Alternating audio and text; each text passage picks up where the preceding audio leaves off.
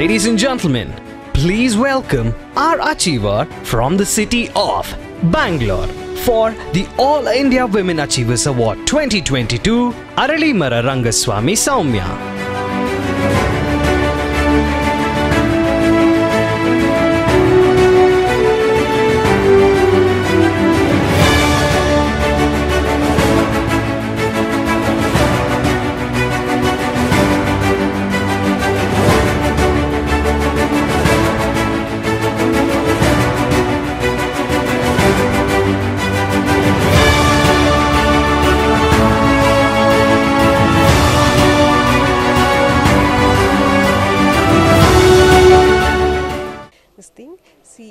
Um, five hands five fingers are different from each other.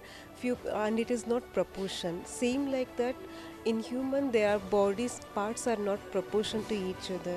Being a me a founder of samasta the boutique I'm, I'm identifying these kind of a people who are called as physically challenged people. I'm giving a employment for them. As if now i open my boutique and i given it to physical handicap for a tailoring chance. So like that i want to give a chance for all so lot of people like beautician or maybe a supermarket and i want to give a chance for all these people who are only physically physically challenged people.